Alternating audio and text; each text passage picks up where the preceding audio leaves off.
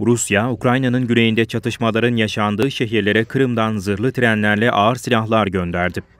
Ukrayna'ya saldırılarına devam eden Rusya, hem kendi topraklarından hem de Belarus'tan ağır silahlar naklederek Kırım'dan da Ukrayna'nın güney kentlerine zırhlı trenlerle silahlar gönderdi. Ağır silahların taşındığı trenlerden birine ait sosyal medyada gündem olan görüntülerde Rusya'nın Kırım'daki askeri birliklerinden roket, ağır zırhlı araçlar ve hafif silahlar gönderdiği ifade edildi. Slava Ukrayni! Slava Ukrayni! Rus askerleri tarafından korunan trenlere yüklenen silahlarınsa Rusya'nın kontrolündeki Ukrayna'nın Mariupol kentine gönderildiği belirtildi. Trende Sovyetler yapımı makineli uçak savar toplarının da bulunması dikkat çekti. Ukrayni!